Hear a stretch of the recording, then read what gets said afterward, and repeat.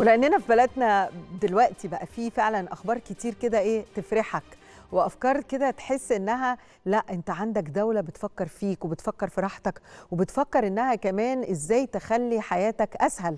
الخبر اللي هقوله لكم ده عمل جدل بس جدل حلو الناس مبسوطة منه. الخبر بيقول إيه؟ الأتوبيس الترددي الكهربائي. إيه هو الأتوبيس الترددي؟ الأتوبيس الترددي ده هنتكلم عليه ولكن الخبر أساسه بيقول إيه؟ الميكروباص يودع الدائري.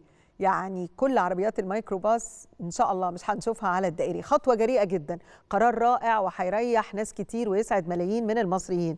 وأخيرا هتنتهي فوضى الميكروباص. مين فينا ما تكواش من الميكروباص على الطريق الدائري والناس اللي بتمشي وعشوائية الركنة وعشوائية السواقين وطبعا كلنا عارفين الركنة اللي هي إيه؟ في مطلع الدائري دي. أنتوا عارفينها ولما يرجعوا بظهرهم؟ كل ده إحنا عارفينه. لكن خليني مع الصورة الحلوة. الصورة اللي أنتوا شايفينها دي هو ده الأتوبيس الترددي. أتوبيس شكله رائع لكن أهم من شكله الخدمات اللي هتقدم من خلال الأتوبيس ده. زي ما أنتم شايفين هو مش عالي هو يعني أقرب للأرض ليه؟ هيبقى فيه سهولة إن الناس تركبه بشكل يعني سلس. مش هتلاقي الناس بقى اللي هي بتطلع يا حرام ومتشعلقه ومش عارفة تطلع. أنا سعيدة جدا بالأتوبيس ده. ليه؟ عارفين ليه؟ لأنه ذوي الاحتياجات الخاصة بسهولة جدا هيركبوا الأتوبيس ده. مش بس كده. كبار السن مش بس كده. لو ست مثلا معاها بتبقى شايلة حاجات لأنه بصراحة الستات بيبقوا شايلين حاجات كتير قوي وحاجات بيوتهم و... أو عامل مثلا شايل حاجات. آه مثلا حد معاه أطفال شكله جميل شكله آدمي هيبقى على الطريق الدائري هيخلي الطريق الدائري كمان طريقة قيادة الأتوبيس ده أمنة ومريحة وشكله حلو وهيقضي على كل العشوائية اللي كانت موجودة واللي هي يعني ما زالت موجودة لحد ما يظهر الأتوبيس على الطريق الدائري. أنا شخصيا كمان شايفة إنه ما يبقاش فيه الميكروباص على الدائري هيخلي ناس كتير تبدأ بقى تفكر اللي في ناس بتكسل تشتغل. يقول لك إيه؟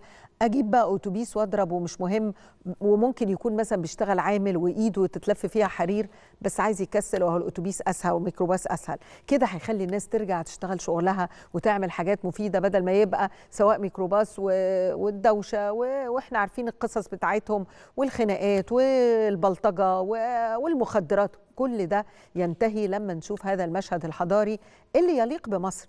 أنتوا شايفين الخبر اللي فات البرج الأيقوني ما مش معقول يبقى عندي الجمال ده موجود في العاصمة الإدارية ويبقى على الدائري اللي الناس بتستعمله يبقى لسه فيه الميكروباص. لكن لما أشوف البرج الأيقوني ده في العاصمة الإدارية وبعدين أروح أشوف الأتوبيس الترددي ده بالشكل الجميل اللي بنحترم فيه المواطن. انت عندك دولة بتحترم المواطن بتاعها وبتفكر فيه. طبعا دي منظومة اسمها BRT وهي المنظومة دي يعني موجودة في العالم وفي في المكسيك وفي أعتقد في اسطنبول وفي يعني دول كتير سالزبورج لكن هنعرف مزيد من المعلومات. خلينا ناخد هذا الاتصال والمداخلة مع دكتور حسن مهدي أستاذ الطرق والنقل بجامعة عين شمس. مساء الخير يا دكتور. مساء الخير على حضرتك وعلى المشاهد الكريم فندم. يعني إحنا يعني سعداء جدا بالخبر سعداء جدا بشكل الأتوبيس بس عايزين نعرف تفاصيل أكتر عن هذا الأتوبيس والخدمة دي تبدأ إمتى إن شاء الله؟ يعني هو هذه الخدمة إن شاء الله جاءت جاءت بالتواكب مع أعمال التطوير الشامل اللي بيتم في الطريق الدائري الآن. اللي هيشمل إن شاء الله يعني أعمال التوسعه اللي بيشهدها الطريق الدائري وأنا بسمي هذه التطوير اللي بيتم بالتطوير الجريء لأن هو فعلا هناك حكومات متعاقبة في العقود الماضية كانت لم تأخذ هذا القرار نظرا لحساسية القرار خصوصا أن أعمال التوسعة اللي تمت في الطريق الدائري صحبها كثير من التحديات والمشاكل. لكن طبعا عايز أقول بتوافر الإرادة السياسية ومؤازرة رئيس الجمهورية لحل مشاكل المرور في الدولة بشكل عام وفي الطريق الدائري باعتباره أحد الشرايين المرورية الهامة. مع توسعة الدائري هيكون في خدمة ال BRT اللي حضرتك أشرت إليها اللي هي الحافلات الترددية للنقل العام والجماعي. يا ريت تشرحها أكتر يا دكتور. يعني إيه ال BRT وإيه وإيه الترددية؟ هل هي فيها كهرباء مثلا؟ فيها إيه بالظبط يعني؟ لا هي حضرتك حافلات للنقل العام والجماعي بيكون ليها bus priority lane أو حارة اولويه المرور في هذه في هذا المسار بتكون لهذه النوعية من حافلات النقل العام والنقل الجماعي. وبالتالي حتى لو كان في كثافات مرورية فهذه الحارة محظور استخدامها لأن يعني حارة خاصة هيكون ليه حارة خاصة.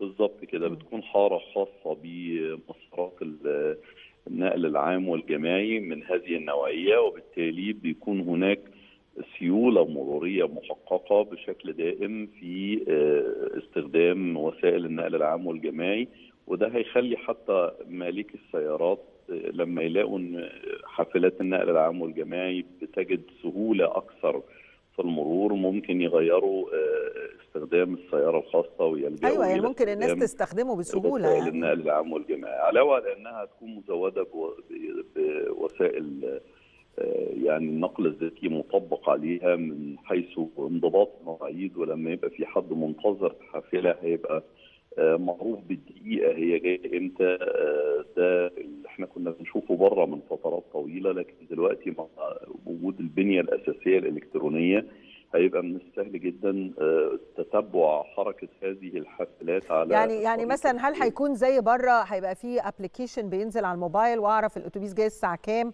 فبالتالي أستناه في الميعاد ده؟ يعني ده هيبقى مطبق؟ مظبوط. آه. هيبقى هيبقى ده وأكثر كمان. آه. يعني يعني هيبقى ال application اللي موجود على ال smart phone أقدر أعرف ميعاد وصول الباص وكمان أقدر أرتب الرحلة بتاعتي الكترونيا باستخدام آه. application بسيط. أشوف أنا جاي من نقطة ألف رايح لنقطة ب إزاي هقدر أنتقل سواء باستخدام هذه النوعية من الحافلات أو باستخدام تكاملية وسائل النقل العام اللي تحدث عنها فخامة الرئيس ووجه بيها إن أنا ممكن أستخدم أكثر من وسيلة مواصلات طبعا يعني آخد الدائري وأنزل بعد كده آخد مترو يعني الدنيا تبقى مترتبة. أبقى عارفة أنا هروح الساعة كام فين وإمتى وإزاي. طيب مظبوط. أنا عايزة أعرف من حضرتك الخدمة دي هتبقى موجودة إمتى؟ بمجرد الانتهاء من أعمال التطوير اللي بتتم في الطريق الدائري ويمكن إن شاء الله من المتوقع انتهاء أعمال التطوير في أكتوبر القادم. بمجرد انتهاء اعمال التطوير هيتم تشغيل هذه الخدمة مع منظومة النقل الذكي ومراقبة هذه المسارات المخصصة لحركة حافلات النقل العام والجماعي هتكون مراقبة بالكاميرات. لأن كما قلت أشرت سابقا إنها هتكون أولوية المرور فيها لحافلات النقل العام والجماعي حتى لو كان في كثافات مرورية للسيارات المستخدمة للطريق الدائري هيبقى في سيولة مرورية محققة في هذه المسارات. وزي ما قلت حضرتك يمكن قلتي في المقدمة إن هيصاحب تشغيل هذه الخدمة منع الميكروباص من الطريق الدائري وده خبر كويس برضه. ده خبر جميل. يعني بالنسبة للناس اللي زينا بيتعذبوا على الدائري ده هيبقى خبر جميل جدا. يعني العشوائية في القيادة والتوقف في أي مكان والكلام ده كله. والحوادث يعني في الدائري بيبقى فيه قصص كتير. إن شاء الله مع تشغيل هذه النوعية من الحافلات ومع تطبيق نظام النقل الذكي على الطريق الدائري لأن كمان الالتزام بالحارة المرورية والسرعات سيكون مراقب لكامل طول الطريق الدائري اللي بيبلغ طوله تقريبا 106 كيلو متر وبرضه بالمناسبة عشان المواطن يعرف تكلفة تطوير الطريق الدائري وتوسعته وصلت ل 7.5 مليار. 7.5 مليار. مش رقم قليل بالإضافة ل 500 مليون تعويضات للمنشآت اللي تم آه عايز أقول آه كانت تعويضات اللي هي موجودة اللي موجودة على الطريق نفسه التوسعات مظبوط يا فندم. طيب أنا بشكر حضرتك جدا دكتور حسن مهدي أستاذ الطرق والنقل بجامعة عين شمس. الحقيقة أخبار كده يعني إيه مبهجة وتحس إن كده حياتك بتتنظم بلدك بتتنظم. يعني كل يوم دلوقتي إحنا بقى عندنا مشروعات وعندنا حاجات على الطريق. أنا شايفة كده إنه بنهاية السنة هيكون عندنا حاجات كتير حلوة هتسعد المواطنين بشكل حقيقي. لأنه خدمة زي الأتوبيس ده قد إيه هتساعد الناس وتساعد حركة المرور عموما بشكل عام في القاهرة وفي مصر كلها.